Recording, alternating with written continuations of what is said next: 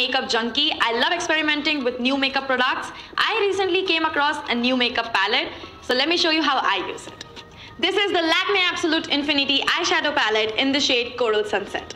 This broad palette consists of 12 nude and pastel shades to create iconic and sophisticated eye makeup look. Each shade has an intense color payoff and blends in effortlessly. In addition to that, you get matte and shimmer shades in one palette, so you can go on creating an everyday look to a party look using just one palette. It is lightweight and compact, so you can carry it along for those last minute plans. It also comes with a sponge applicator for ease of use. Whether you wish to create shimmery lids or nude matte ones, this palette can do it all. Use the sponge applicator to swipe the shadow on your lids. Blends and smudge with the applicator, provided for an even look. You can mix two shades and add more drama to your eyes. Top it up with lots of mascara and let your eyes do all the talking.